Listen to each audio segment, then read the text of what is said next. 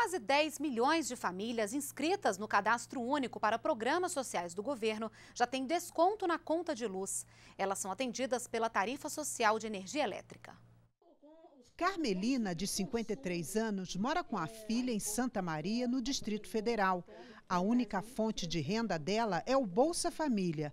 A dona de casa faz de tudo para economizar e comemorou quando, há cinco meses, passou a ser beneficiária também da tarifa social de energia elétrica. Ela também conseguiu trocar a geladeira por meio do programa Nova Geladeira. A ação é da concessionária de energia, que troca o eletrodoméstico para adequar a conta dos clientes de baixa renda à capacidade de pagamento. Todo mês, a conta de luz de Carmelina vem com desconto de cerca de 23 reais, o que para ela faz muita diferença no bolso. Com mais 20 reais eu compro gás. Não é eu posso comprar o leite, pão, lanche.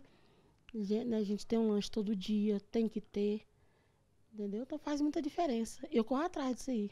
A tarifa social de energia elétrica é um desconto na conta de luz que as famílias de baixa renda têm direito. Foi criada há 10 anos. Um levantamento feito pelo Ministério do Desenvolvimento Social e Combate à Fome revela que 10 milhões de famílias têm o benefício.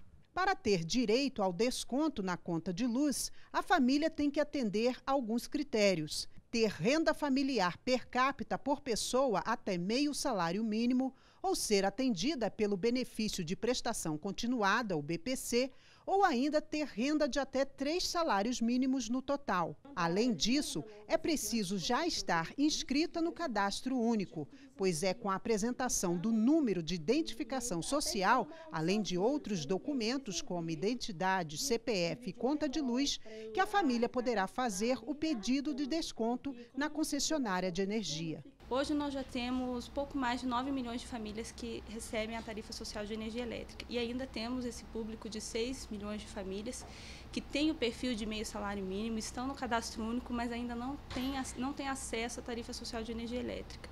O principal desafio para o MDS e também para a ANEL é levar a essas famílias o conhecimento do que é o programa e por que, que elas têm direito a esse programa.